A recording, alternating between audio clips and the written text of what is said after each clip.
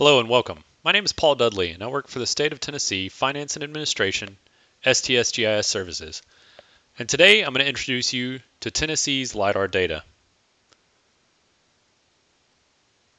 In this video, I'm going to cover Tennessee's USGS partnership and the 3D elevation program.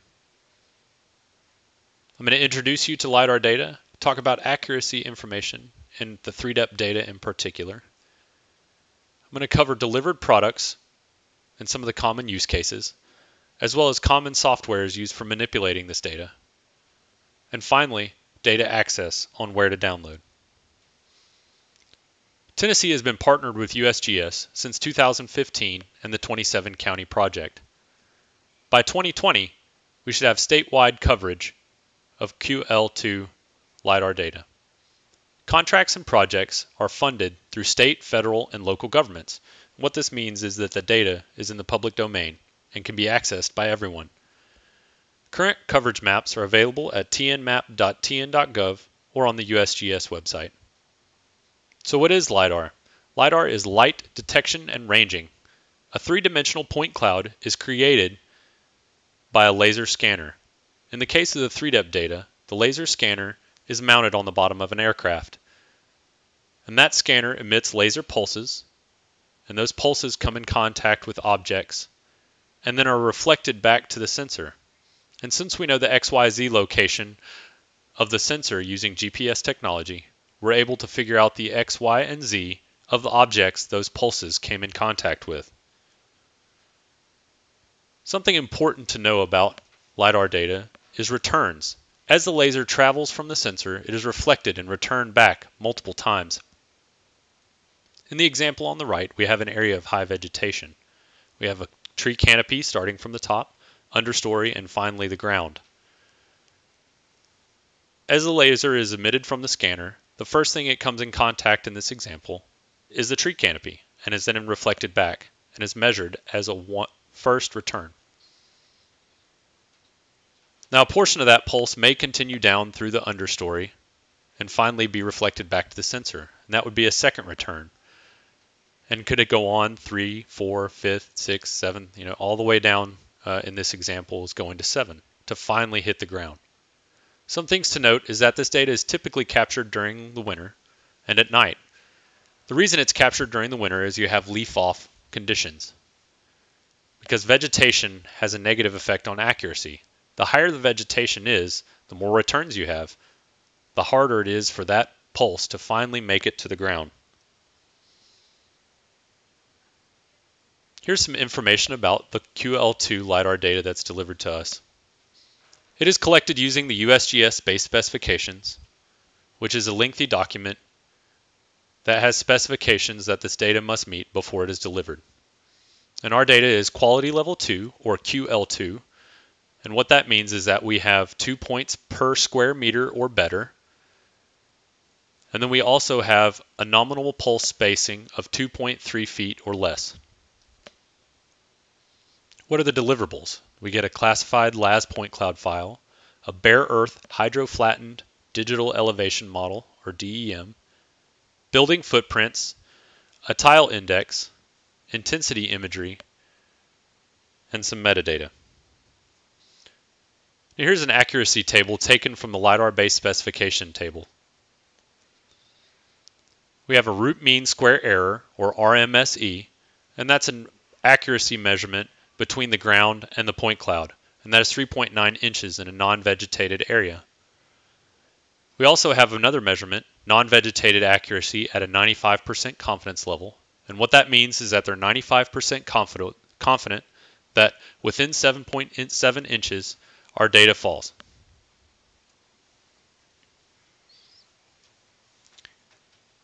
Here we have the digital elevation model vertical accuracy table from the base specifications. As you can see, the root mean square error and the non-vegetated at 95% are the same, 3.9 and 7.7. But they've added a vegetated vertical accuracy, so an area where you have high vegetation, and that goes all the way up to 11.6 inches. So you can see the negative effect that vegetation has on accuracy. And this is a slide that is kind of introductory. We're going to talk about each product and their use cases. So we're going to talk about point cloud files, DEMs, DSMs, intensity imagery, and contours. So the first one, the point cloud. The point cloud is delivered to us in a .las format. And it is broken into tiles. Each flight area is. As you can see in the example above Chattanooga. One 3DEP tile is one square mile.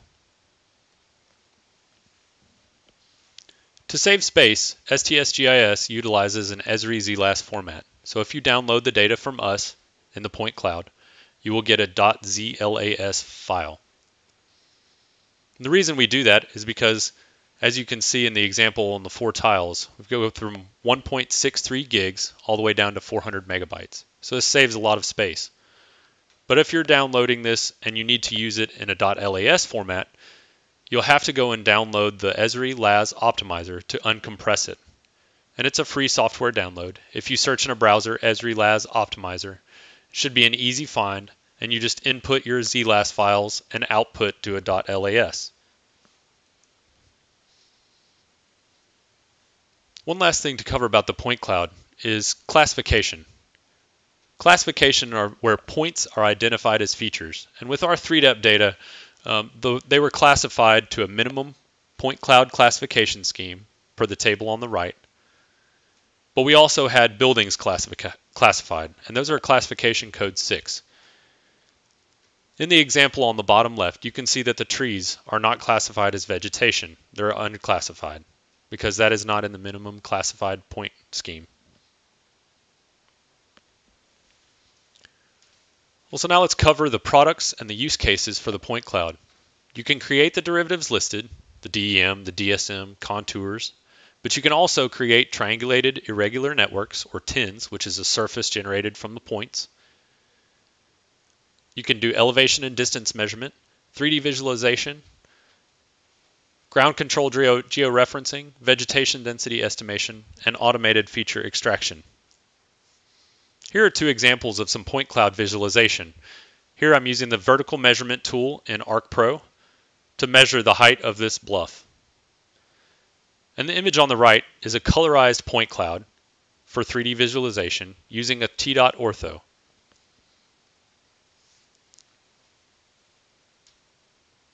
Our next product is the digital elevation model, or DEM.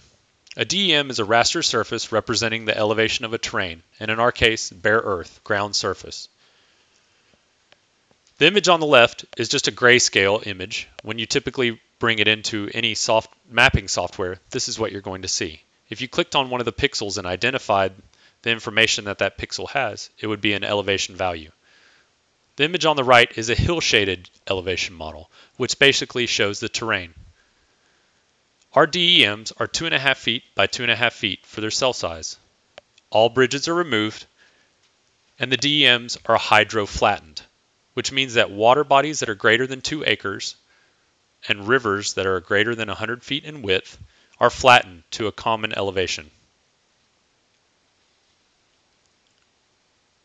Some data, and 3DEP data is not, hydro enforced, and that would be a DEM with elevation of non-natural obstructions adjusted for downslope flow. And this would be important if you're doing any hydrologic modeling. So here on the example on the left, we have a culvert that was not taken out per USGS specifications and bridges on the right that were taken out. So what are the DEM products? We have hillshade, slope, aspect, shaded relief, and you can also generate contours from the elevation models.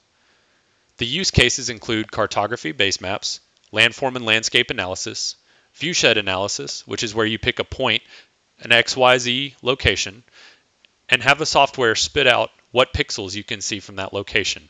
And that's the example on the right on a hillshade DEM. You can also do hydrologic analysis, extraction, watersheds, and hydrologic modeling planning and construction, hazard prediction, and volumetric analysis.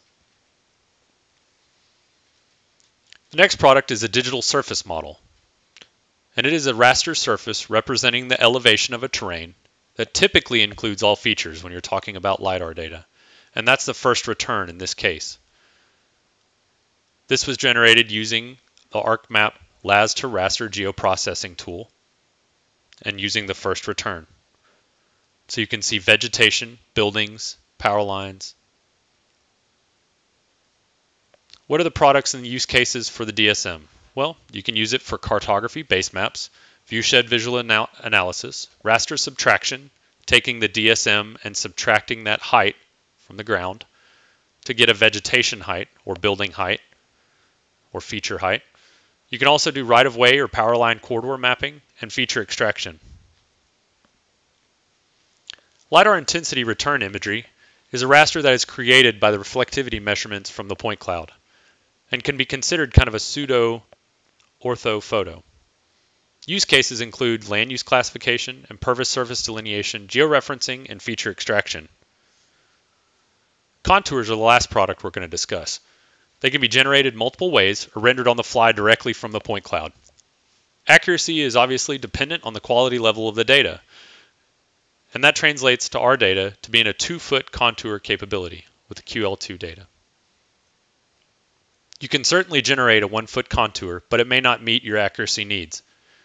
Products and use cases include cartography base maps, visual analysis, and the largest being planning and construction. Common softwares that are used to manipulate this data are Esri products, ArcGIS Pro, ArcMap, ArcGIS Online, QGIS, which is an open source, free download, GeoCue LP360 software, and they also have an Esri ArcMap extension, Autodesk AutoCAD 3D Mapper, Bentley MicroStation, Blue Marble Global Mapper, and many, many more.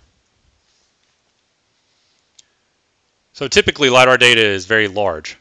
And if you're doing lots of processing and 3D viewing, here are some basic requirements that may help you purchase your next computer.